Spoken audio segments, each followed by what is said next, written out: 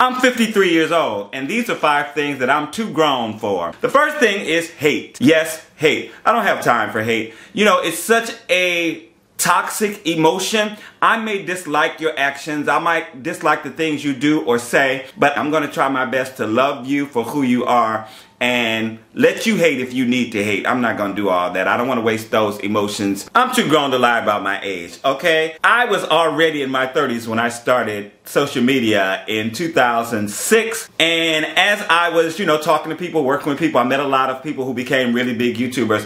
One time I was working with someone, they were like, oh, don't ever tell anybody your age on here, you know, let them believe that you're this age. And, say, and I'm like, you know, I don't have time for that. I'm working on elder status. You know what I'm saying? I do not mind being my age. I feel good, I look good, and I feel like seeing older people on the internet helps sometimes younger people realize that, you know, it's not such a bad thing to get older. I am too grown to worry about what you think about me. You know, there's an old saying that's really true. What you think about me is none of my business. So if people are saying things behind my back, or people are making up things, or people are saying something that might be true that I'm doing, listen, I'm grown. I'm going to do what I want to do. You don't have to like it. As long as I like it, that's all that matters. I'm too grown to trade negativity for negativity. Listen, I try my best to be the best person that I can be in order to keep a nice glow aura around me in order to keep positivity coming my way. So if you are negative to me, my first instinct might be, I'm gonna cuss you out or something like that. But I try my best to make funny of it, make light of it, make you laugh or say something sometimes sarcastically snarky,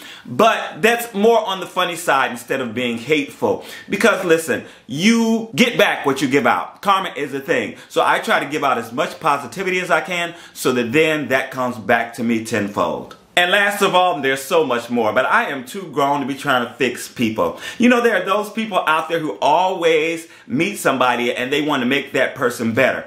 I try to make people better by showing them better, by doing better, by being better. I don't talk about it. I be about it. You know what I'm saying? So if I'm trying to express to someone that they can do this in a different way, take it in a more positive light, da da da. If they ask for advice, I'm gonna give them advice. But I'm not gonna try to fix you. I am not gonna try to make you better. People are not gonna become better until they want to become better. So you can give them advice, you can help them out, you can support them, but you have to love them for who they are in this moment. Once they start to experience that unconditional love, then they will become better. All right, I know it took me a while to come around to this trend, but I wanted to do it thoughtfully, think about the things that I wanted to say, and just be very truthful and upfront and honest with you. So I hope you enjoy this. If anybody else wants to do it, go ahead and jump on it and send it to me.